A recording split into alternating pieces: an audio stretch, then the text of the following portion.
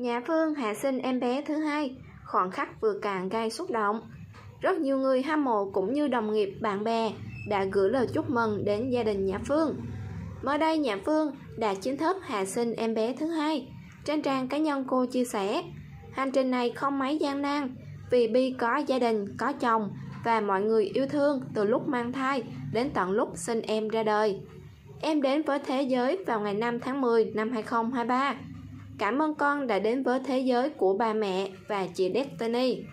Rất nhiều người hâm mộ cũng như đồng nghiệp, bạn bè đã gửi lời chúc mừng đến gia đình Nhã Phương.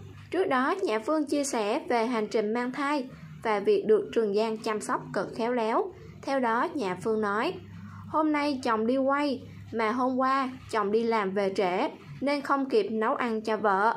Bình thường sẽ nấu sẵn rồi để trong tủ lạnh cho vợ, mà nay không có thì tôi tự vô nấu. Nhưng hồi nãy chồng tôi vẫn phải phai tham, chỉ cho cách nêm nếm món ăn như thế nào. Lần mang thai này, tôi ăn uống thoải mái, không như đợt trước. Anh chồng ở nhà, anh nấu mỗi ngày đủ thứ món mà toàn là cá. Đi khám trộm vía, bác sĩ nói em bé trong bụng cân nặng tốt hơn. Nói chung là vượt tiêu chuẩn. Chồng sẽ có một cái danh sách những món ăn cho mẹ bầu, rồi chăm sóc bé như thế nào. Ảnh còn chia sẻ cho Mạc Văn Khoa nữa. Trường Giang kỹ lắm nha mọi người. Mình thèm ngọt kinh khủng, đặc biệt là mía. Nhưng mà ảnh đi làm thì ở nhà mới dám ăn. Tại ảnh giữ cho vợ lắm. Nhã Phương tự hào khi nói về Trường Giang. Trước đó, Nhã Phương cho biết bản thân may mắn và hạnh phúc được ông xã Trường Giang rất chiều chuộng. Dù mang thai hay không, anh ấy chăm sóc tôi rất kỹ. Nữ diễn viên mỉm cười cho hay. Chính nhờ vậy, cô có thể tham gia đóng phim đến tận tháng thứ sáu. Cô mới dừng hẳn công việc để tập trung dưỡng thai, cô tiết lộ.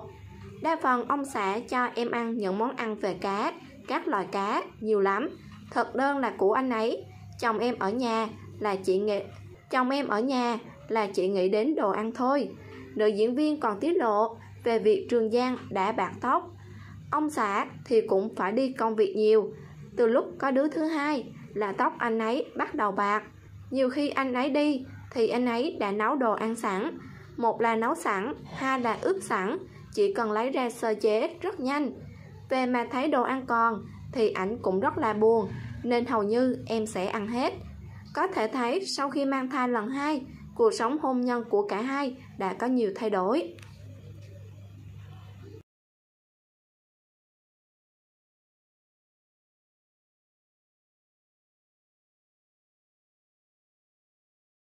nhớ nhớ nhớ nhớ lại.